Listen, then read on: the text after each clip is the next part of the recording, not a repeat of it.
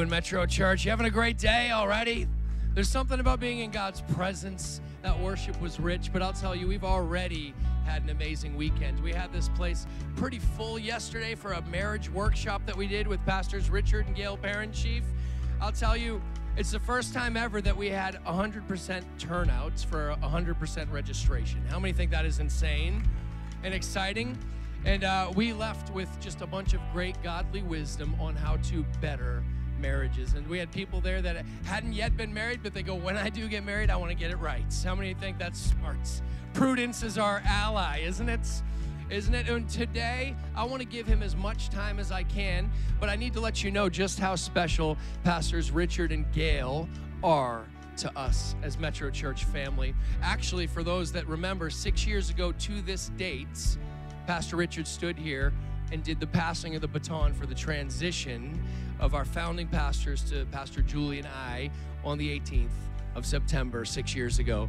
He has been part of the family. Gail has as well. And this is the first time we've been able to see Gail back in almost a decade. And it's been amazing to spend the time, but for you to pour into us as well yesterday.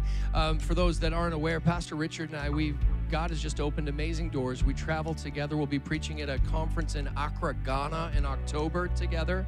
And God just continues to open doors. But I ask that you would open your heart for the word that's going to come from this man right now. Would you please put your hands together for Pastor Richard Perinchief as he comes and brings the word?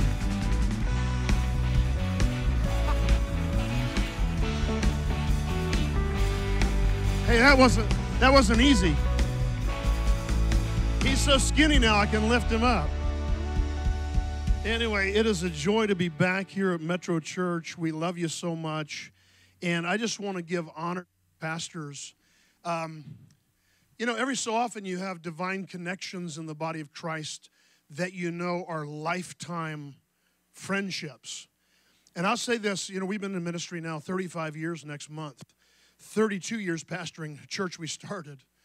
And um, you only get maybe a handful of those relationships in a lifetime, especially in ministry. And Pastors Chad and Julie Braswell are that to us. They are divine connections. Uh, sometimes I feel like Batman, but I have to have Robin. Sometimes he just, I'm, I, you know, sometimes he plays Batman and I have to be Robin. But anyway, no. It's just it's just funny because we help each other in the nations. Um, there's I've traveled the world. Um, when we get to Accra, Ghana, that'll be my 79th country. And I think we've been, how many together have we been to? Over 20, right? And we've just been invited, listen to this, wait, hang on, hang on. We've just been invited this week for February to go to Macedonia, which is in the book of Acts.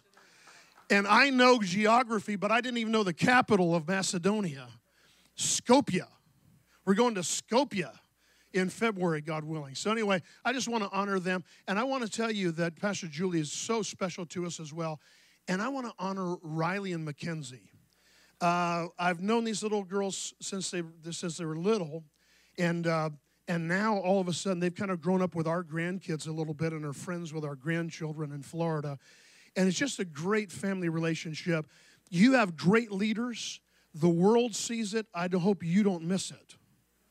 Thank you for that overwhelming response. A prophet is not with honor, honor except in his own hometown sometimes. You need to give it up for your pastors one more time. Speaking of, speaking of grandkids, uh, I just have a little picture because everybody wants to know uh, progress of our grandkids and what's going on sometimes if you know me from the past. This is our five, and uh, apostle, prophet, evangelist, pastor, teacher. Yeah, anyway, it's a fivefold ministry. Anyway, Cole, our oldest grandson, just turned 13, which is crazy to me. And then he has a little sister who just turned two, little Kylan. So this is our daughter and our son in law's kids. They're Kennedys. And then we have uh, Mila and Alana, and they're Perinchiefs. That's our son and daughter in law's kids. And just beautiful. So, anyway, for me, give it up for them. Anyway, so anyway, makes me feel good to show you our precious treasures. Today, we don't usually do this, but today is Caden's eighth birthday, and we got special dispensation to be able to come today because we usually don't miss birthdays to go preach anywhere, but this is a special day. Want to get right into the word. Um, have you ever had something that you really just felt you're supposed to do in your life, and for some reason it's just blocked. You just, every time you get towards it, something happens to kind of put it off. I, I want to talk about, uh, my message is called Dream On. Dream On. It's so many dreams have been switched to off or wait. And I feel like God is saying prophetically to the body of Christ, it's time to dream, turn your dream on. I call it living the unstuck life, which was the title is the title of my new book. Luke chapter 5 is where we're going to begin. I'm going to weave in Genesis 37. Luke 5 verse 1. So it was as the multitude pressed about Jesus to hear the word of God that he stood by the lake of Gennesaret and he saw two boats standing by the lake, but the fishermen had gone from them. Please, please pay attention to that. The fishermen weren't in the boats, they had gone from them and were washing their nets. One translation says mending their nets, they were fixing broken nets. Then he got into one of the boats, which was Simon's, and asked him to put out a little from the land. And he sat down and taught the multitudes from the boat. When he stopped speaking, he said to Simon, Launch out into the deep and let down your nets for a catch. But Simon answered and said to him, Master, we have toiled all night and caught nothing.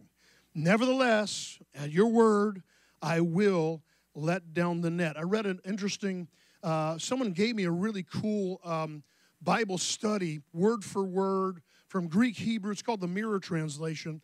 It's from South Africa. And I was looking at this passage. It says this that, that when Peter said master, that the literal translation, translation there is he's basically saying, okay, you're the captain of my boat now. Okay, captain. All right, master. We've done this and we haven't caught anything, but because you said so, you're the skipper. Aye, aye. And he launched out. Want to weave in Genesis 37, verse 5. It says, Now Joseph had a dream and he told it to his brothers, and they hated him even more. Let's pray one more time. Father, would you give us the spirit of wisdom, revelation? Holy Spirit, I need you to help me to deliver this message, to bring forth your word and power in Jesus' name. Amen. Well, I, I haven't been here in about three years, and I wonder if anything's happened uh, here in the last three years. Um, the whole world's gone nuts. Stuff that was foundational, that we thought was pretty solid, was exposed to be pretty weak. Anything built on sinking sand. it's been crazy. And many people have chosen to retreat into their homes, hearts, and lives, hiding out, trying to find a safe place where they can. You know, when, when we have hurricanes off the coast, like one was one in Puerto Rico right now, headed toward Dominican Republic today in Florida, we have this thing called hunker down. Hunker down, something on the way.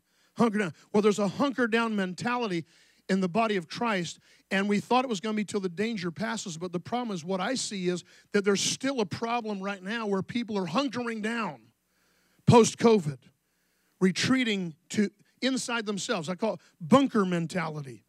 Some see a church or see the church as a monastery when it's supposed to be an embassy.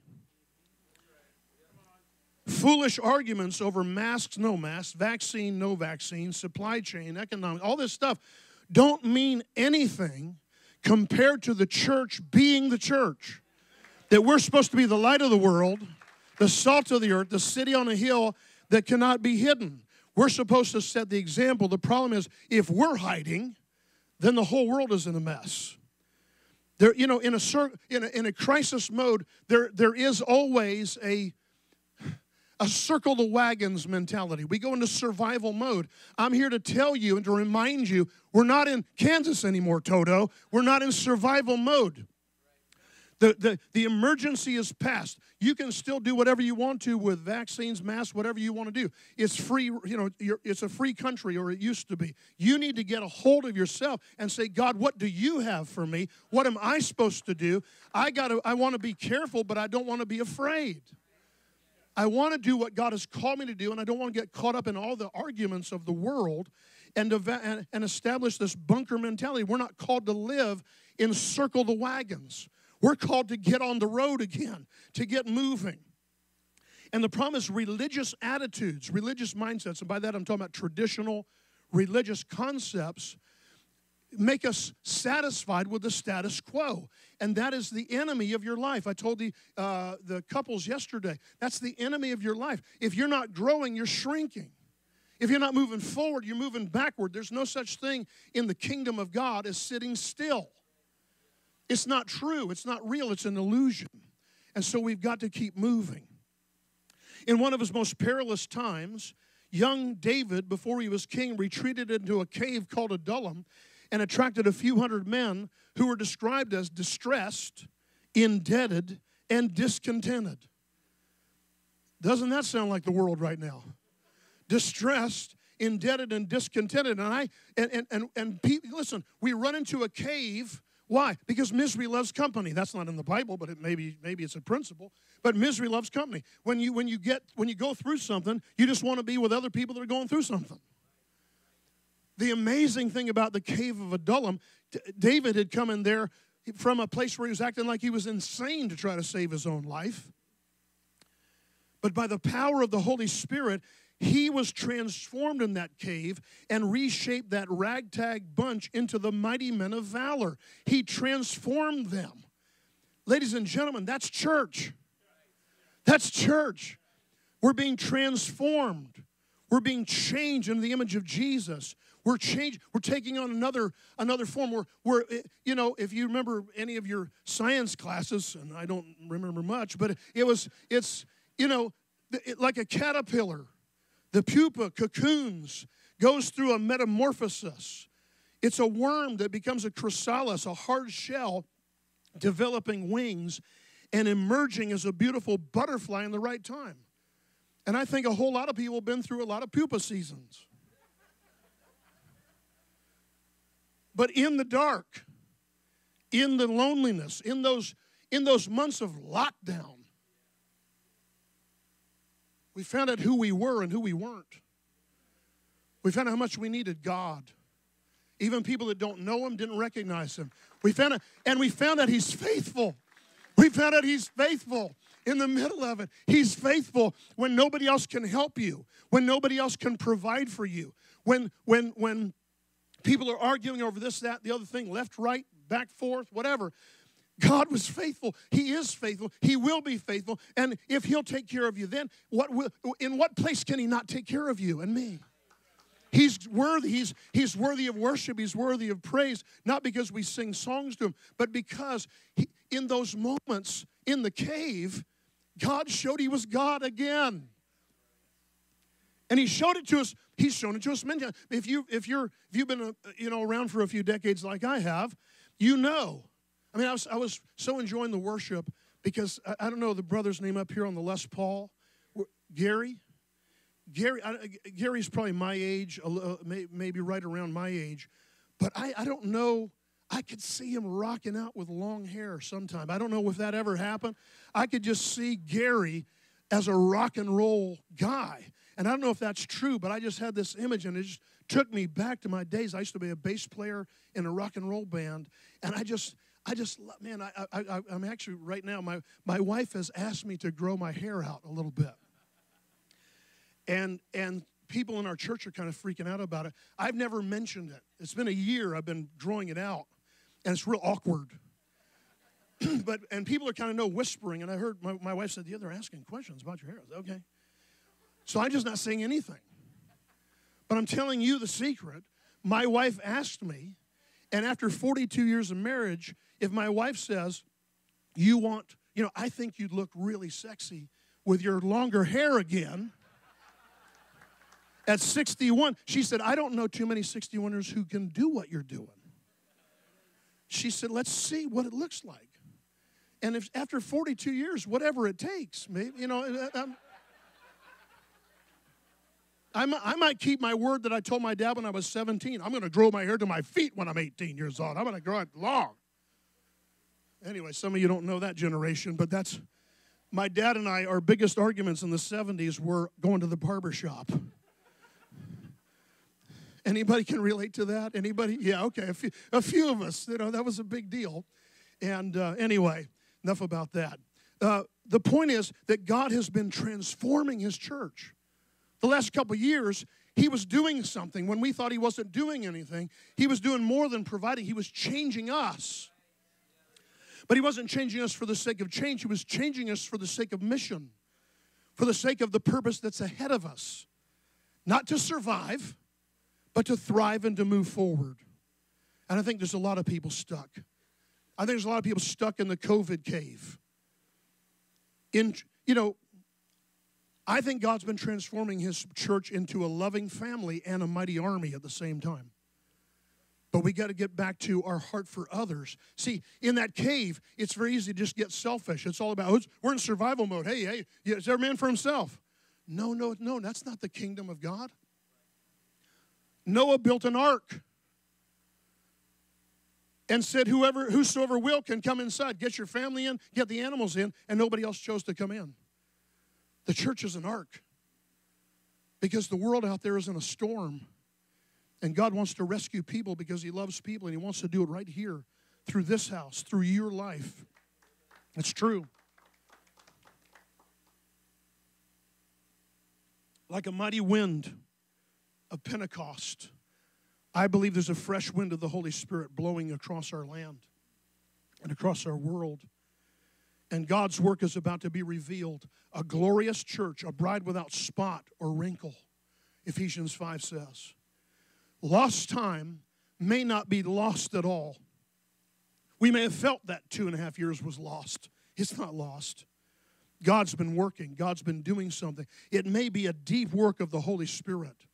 Maybe you even feel somewhat discouraged, maybe even weary. You know, I'll tell you what, I've never been as tired in my ministry life as I was right in the middle. So, so we went from lockdown into racial crisis. And our church is almost half non white. Our church was the first fully integrated church in our southern community. 1990, we started with a vision to have everybody together in one church, and boy, did we have resistance. And, and the strange part was, I thought the resistance would be from white folks. The resistance was from the black churches when we first started our church because they said, No, you can't go to that white church. why is it a white church? Because the, the pastor's white. And they were worried, and now our church is, is almost 50%. We have probably 35% African American, probably uh, 18, 15 to 18% Hispanic. In our church, we're, we're a, a non white church with a fairly tan guy. It took years to break the spirit of that thing, but it almost all came down after the George Floyd murder. It was a mess. And I've never been so discouraged in my life as people in our own church started attacking each other online and started taking sides in, in a, a, quite frankly, a, a dumb argument over who matters because everybody matters to God. And in order for everybody to matter to God, black folks have to matter to God too. But the problem is, it was Shanghai, that message was shanghaied by forces that were trying to steal the argument and shift the church into division mode instead of unity. Where, the, where how good, how pleasant is for brothers to dwell together in unity. It's like the anointing oil being poured upon the head of the priesthood of Aaron coming down upon the body. And I've never been so discouraged. I'm, I'm, my wife calls me terminally up. I'm not usually a down, I don't usually go through depression. That's not my, that's not my deal. I've, I've had a couple of days of depression in my life. The, the, weird, weirdly, the day I turned 31 was a big deal. 31. Because 30, I had all these promises. And then 30, I was like, I don't think you see anything in the Bible about 30, turn 31. At 30, Jesus was promoted, David was promoted, Joseph was promoted. 30 was a big deal. 31 was like, oh, this is horrible. My next birthday, I'll be 62. That's double 31. I'm still going. I mean, I found I found joy that day, by the way, because Baskin Robbins has 31 flavors. So that was, I said, okay, that's something good. So my wife calls me terminally up, but I'm telling you, when when the lockdown was going on, and we had it a lot easier in, in Florida than y'all did in some ways, but it was still a challenging moment. And the problem was when we were all working from home, there was no off switch. And I think it's probably the same for many of you. If your work is at home and your home is at work, there was, there was, no, there was no more work life balance. And suddenly we were working all the time and working late into the night and working as soon as we got up in the morning and, that, and, and for months, and that takes a toll. And we usually get a little break in the month of May. The month of May was the height of the lockdown. We didn't get our usual break, and then all of a sudden the whole thing hit and the world went nuts. Add that with other people disgruntled, you know, a handful of people disgruntled in the church. And I, I, don't, I don't know much about the English language, but I don't know anybody that's ever been gruntled. I just know disgruntled. I don't know if gruntled is a word. That sounds like it should be something bad, but it's, if you're a happy person, are you gruntled? I don't know. I've never been gruntled. These are things I think about. Sorry. So, so we had, you know, so when you get disgruntled people, and then people fighting over, you know, we have we have police officers in our church. We're so we love our police officers. We honor them. We honor our first responders last week for 9/11. It's a it's a big big deal, and yet we had people that were in our leadership that were police officers, and people that were in our leadership that were uh, community leaders. Uh, African American leaders, and they all of a sudden were at odds against each other publicly. And I'm like, what is going on? This is the devil. Can we not see this? Thank God we navigated through. We did we lost a few families, but it wasn't it wasn't a major deal. But in my own life, I felt like I was about to have a nervous breakdown. That's what I felt like. And I'd started this book a few months earlier called Unstuck, and I've never been more stuck in my life. I may be, uh, you know, I may be the most qualified person to write a book called Unstuck because I've been stuck more than anybody. But God has always rescued me and showed me the way forward, even if it's an inch or whether it's a step. And he, we navigated all these things by the help of God, by the grace of God. There's a fresh wind and God is moving. You may be discouraged. You may be weary. That's, you know, Jesus saw the people in his day and said they were weary and scattered like sheep having no shepherd. And he had compassion for them. He, he was touched by their feelings. Maybe you feel like you've been fishing all night, working all the time, and caught nothing, spinning your wheels. Proverbs 29 18 says this without a vision, the people perish. Without revealed insights from God, you have nothing. Sideline dreams are about to be switched on again.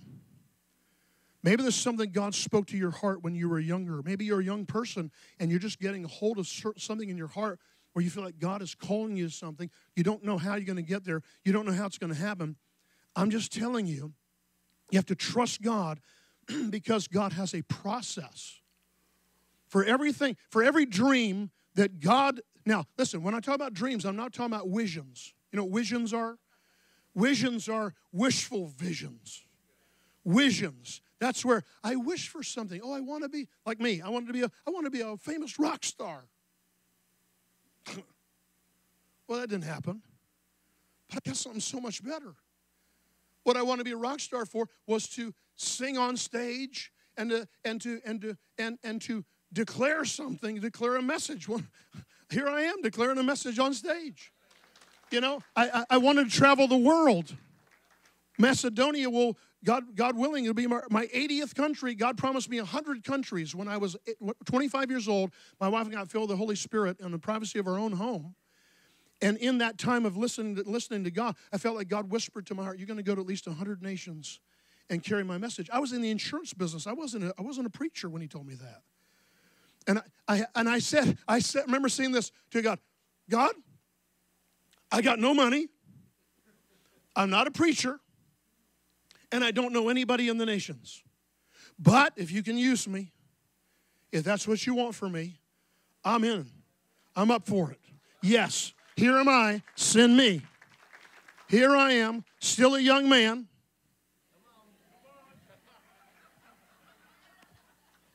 Honey, do you, feel, do you think I'm still young?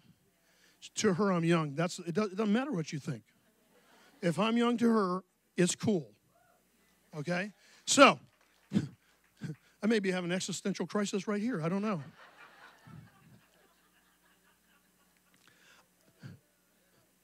But at my age, I've still got a whole lot of destiny to pursue. And I want to tell you listen, one of my favorite people in the whole Bible is Caleb, who was still pursuing his destiny at 85 and still had the energy to fulfill his destiny at 85 because that was the call of God. I don't see any 85 year olds in the room, but there may be a few. And if you're hiding somewhere, it's time to come out of your cave and understand your destiny is still unfolding and your best days are ahead, not behind you. You've got to pursue that. That's unstuck living. That's unstuck living. It's an attitude. I see in my heart pots and pans that have been on the back burner for years being moved by God to the front burner again, the front of the stove. God's thing, not a fleshly thing, not you making something happen, but God saying, I've got those things still ahead of you and your best days are ahead, but it's time. You're going to have to take those things you were believing for that you set aside take them off the shelf, take them off the back burner, and put them back up front where they belong because God's saying your timing is coming. And so I want to finish with this. It's time, it's time to dare to dream again. You know, the, the, the thought of dream on, I'm not going to lie. The dream on, I was, I, was looking at a, screen uh, and I saw uh, a, a picture of Steven Tyler and I remembered the, you know, I, I, was a big Aerosmith fan back in the day. I've seen them live in London just a few years ago. They're, they're old. I'm not old, but they're old. I mean, Steven Tyler was like held together like by puppet strings. He was like, you know. But it's a great show. But but I but I as I saw his picture, and at 75, whatever he is, it's scary. I'm telling you. But as I looked at the picture, I heard God say, "Dream on." Not dream off, dream on. This is time to dare to believe God again for the impossible. Signs and wonders and miracles that have been on the back burner are about to be front and center in God's house right here at Metro Church in Marlborough. Right here, when you need a miracle, I believe as we lifted those prayer requests today, God is moving on behalf of those things.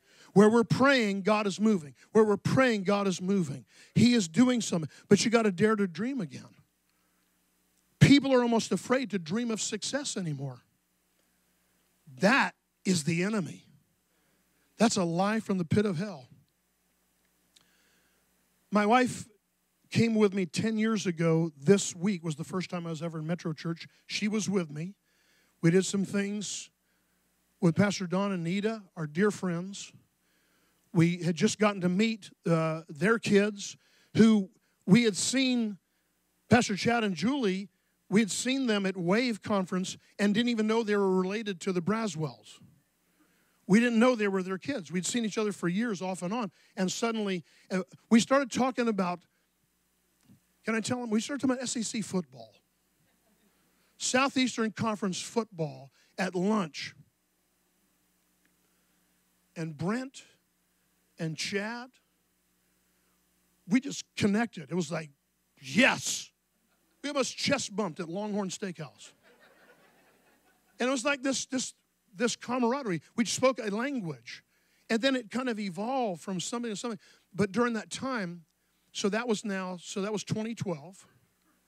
2014, after my precious father in law passed away and went to heaven in 2013, my wife began to experience pain in her body, first in her ankle. We thought she sprained her ankle until it went into both knees. And then it was in both elbows. And within a few months, we were just navigating. Well, what's going on? This is weird. When she couldn't get out of bed one day, a few months later, she said, Now my hands hurt. And she showed me her hands. And I, I kid you not, her hands looked like baseball gloves. They were so swollen. And, I, and that, that was the moment, we, you know, everything else we just prayed. We anointed her with oil. We prayed. We are believing God, and she walked through it. When, we, when I saw those hands, I was like, something's really wrong. And we couldn't get in with a rheumatologist for three months. In that time, she could hardly move. She said, I feel like the Tin Man in the Wizard of Oz. I can't, I can't move my body. And her body had begun to attack itself in the immune system with rheumatoid arthritis. And they told us at the time when we finally got to the doctor, ironically, he goes, Well, I see your address here. He goes, I'm your neighbor. I live two doors down and across the street from you. He said, If only I had known, I could have got you in earlier. And we prayed every day. And I, I wanted to hug him and slap him at the same time. Like, I said, Well, you you better be glad that we didn't know you were across the street. Because I, I would have, we would have been at your door in the middle of the night. And he said, You're going to be on these medications the rest of your life, and blah, blah, blah, and you're going to get your life back. God began healing her. He never had to do all the, he calls it the nuclear option with these heavy drugs. But he gave these medications. And over the years, she just kept getting better and being healed. But she hasn't been able to travel with me. She has not been on an airplane since before COVID, till we flew here to Boston on Friday. And she is here. Now, listen, the best part, she's completely healed. She's off all medication, which the doctor said many times, I will never take you off the medication.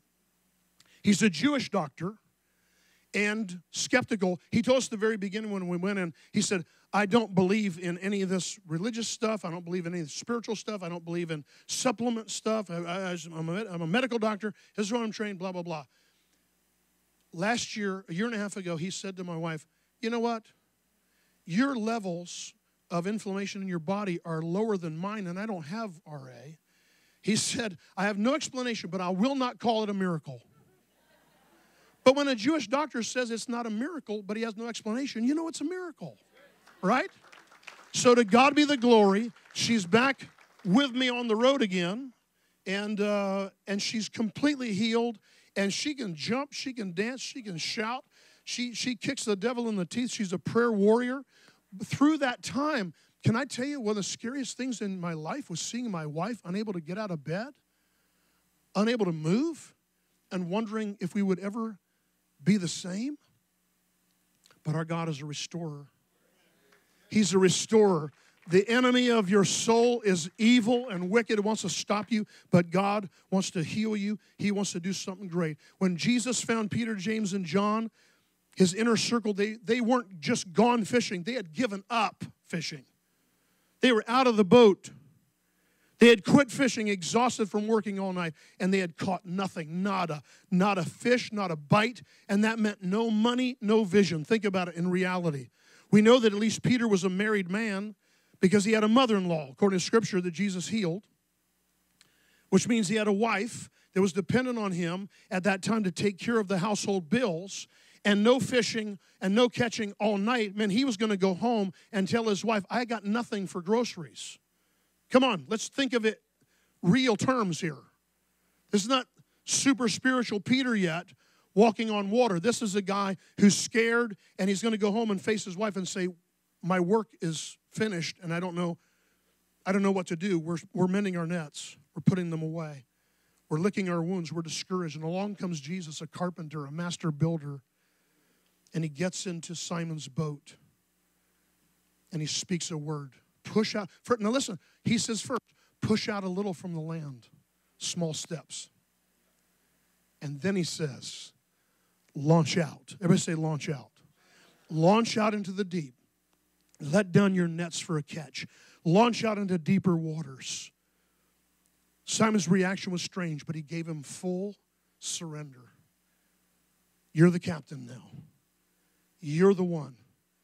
My friends, this is not my first book. I'm about to turn over to Pastor Chad after I pray for you.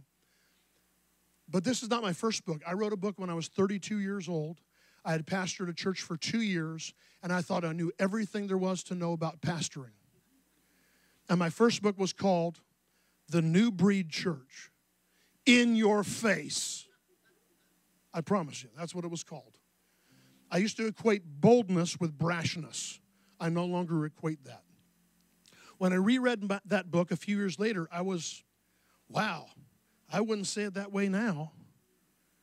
And I felt like God said, Why don't you wait, son? Why don't you just wait a little bit till you get some life experience before you write something again? Because written, the written word lasts. The written words last longer than the spoken word. You put something in writing, it better be true. Somebody's going to nail you.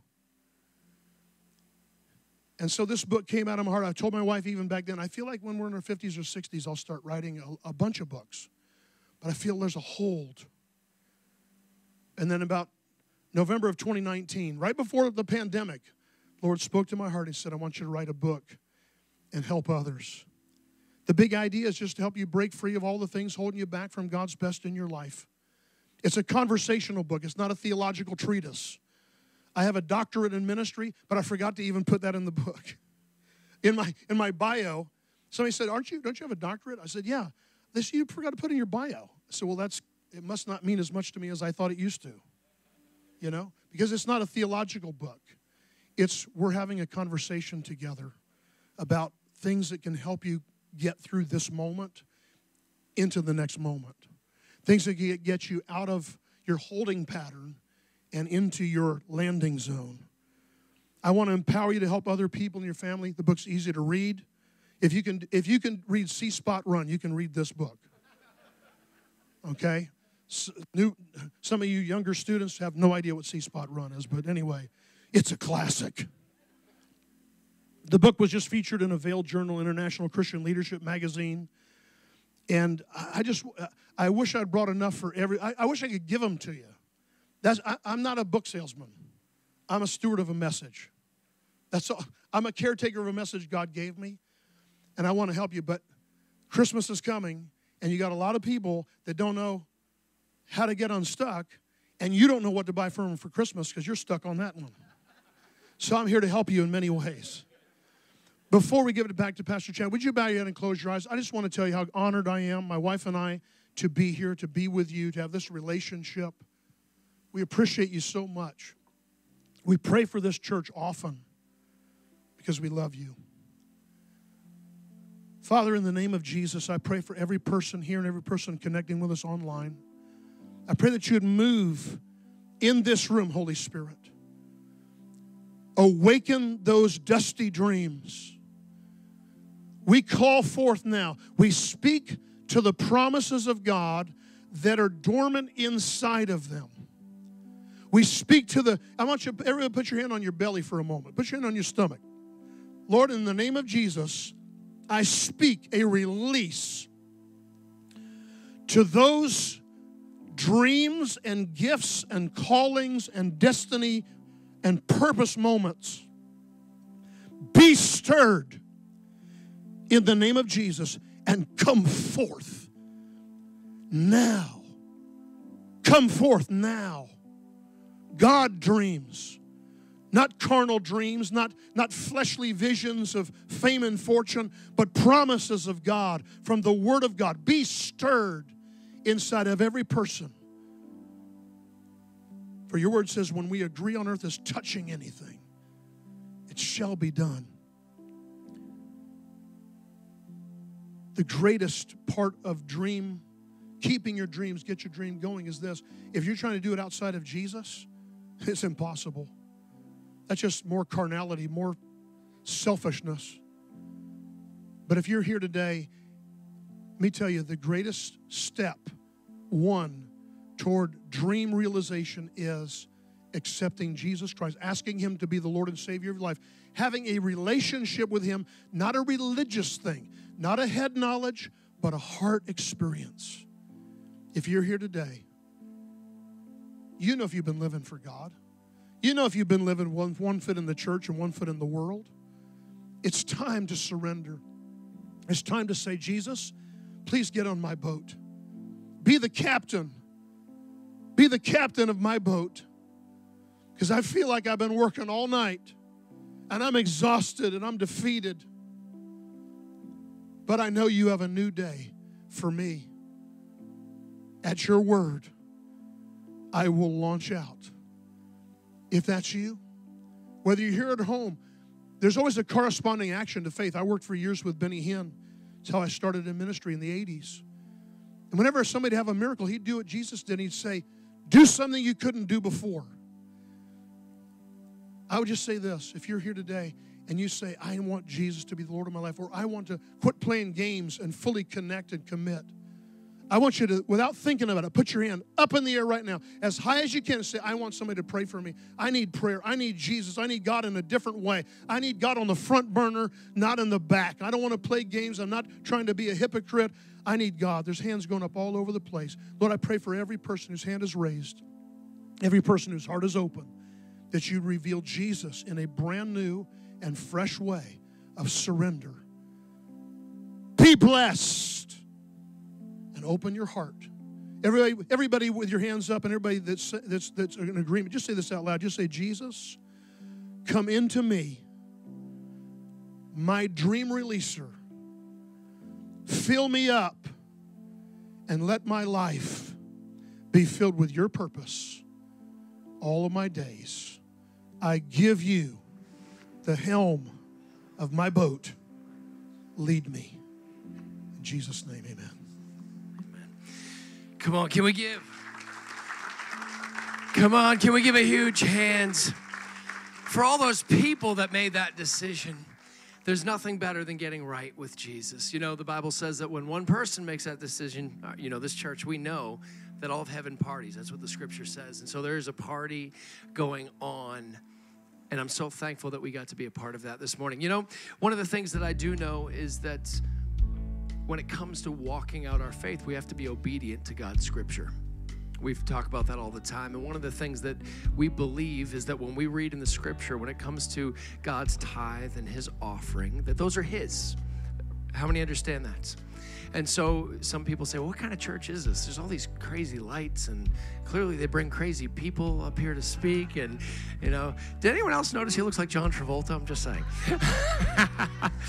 you Google John Travolta swordfish and you'll be surprised. but what I'll tell you is when it comes to God's word, we, we may be a, a, a, church that really pushes the envelope on modern, but when it comes to the scripture, we believe the scripture is timeless.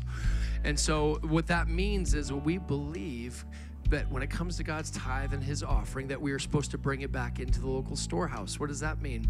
God, you've given me 100% of everything I have, and I'm going to be obedient and bring the tithe, the first 10% back to you with an offering. And so as a church, we have an opportunity right now where we can do that through uh, online. Also, there are generosity drop boxes here to continue to be obedient. But what I will say is this is a very special Sunday, and if you've been around Metro Church for any period of time, you know that we understand a laborer is worth his wage, and we understand we need to receive a prophet and with prophet's honor as well. And so we are going to bless pastors uh, Richard and Gail Perinchief. They didn't come for it, but what? We won't let them leave without it. And so if you're going to be giving today with your tithe and offering, you can do that all through, uh, you know, either the website or the app or the envelopes there. But there is a guest speaker thing that we would love to just bless them. How many know that you sow in into fertile soil if you want a good harvest. Does anyone know what I'm talking about? Well, how many think that sowing into the ministry of what is going to be almost 80 countries now around the world would be a good place to sow some seed and so I would just love for you to be a part of us as we bless them. And we love you guys so much. We really do. You're part of our family, and we're thankful for the God uh, providential connections. And so, uh, church, we're going to receive the offering. Uh, but first, let's pray. Father, we're thankful for your goodness in our life. We know that everything we have is because of you. We may have worked for it, but it's only with the gifts and talents you first gave us, Lord God. And so we bring your tithe and your offering back to you. We pray that that you'd bless the gift and the giver. In Jesus' name, we all said, Amen.